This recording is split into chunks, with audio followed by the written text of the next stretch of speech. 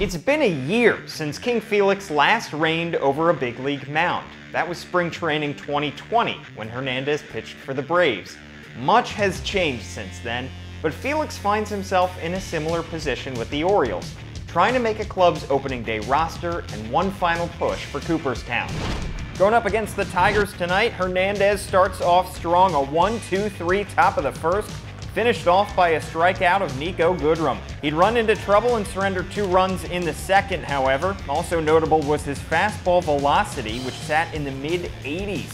But that didn't bother Felix. I didn't even pay attention to that. I just go out there and compete. I mean, I think it was 88 top, but it's the first day after year off. Jorge Lopez logged a solid three innings of relief with three strikeouts. It was a scoreless performance that left the skipper impressed. Georgie's got a really nice arm. He's got a really hard, tough sinker. To complement that with a good four-seam fastball he, he, that he showed tonight, I thought great outing for him and something to build off of. O's mount a late comeback in the eighth, featuring this Yusniel Diaz double. He's thrown out at third, trying to stretch it into a triple. They get it within one run, but fall to the Tigers six to five.